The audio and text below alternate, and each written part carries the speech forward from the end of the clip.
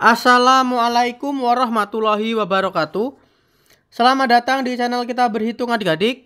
Pada kesempatan kali ini kakak akan mencoba untuk menjelaskan bagaimana sih cara mencari jawaban dari pertanyaan berikut.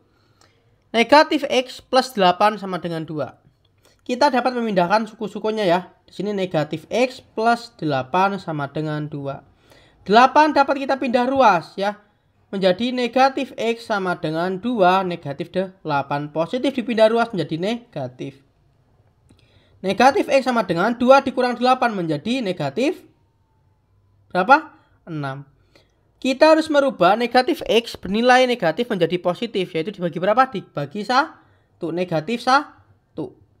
Menjadi X sama dengan 6. Sehingga X sama dengan 6. Mudah sekali bukan?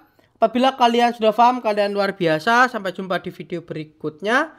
Wassalamualaikum warahmatullahi wabarakatuh.